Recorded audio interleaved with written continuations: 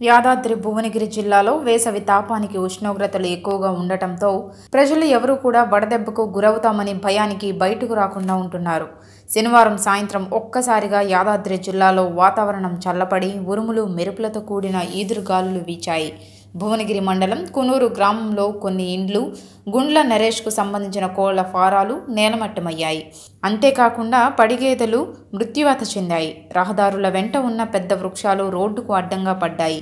దీనితో పెను ప్రమాదం తప్పింది. ఆలేరు నియోజకవర్గంలో తుర్కపల్లి మండలం రూస్తాపూర్ మోటకొండూరు మండలంలో పలు గ్రామాల్లో ఈదురుగాలులు బీభత్సం సృష్టించాయి. భారీగా ఆస్తి నష్టం వాటిల్లిందని ప్రభుత్వం తమను వెంటనే ఆదుకోవాలని బాధితులు కోరుతున్నారు.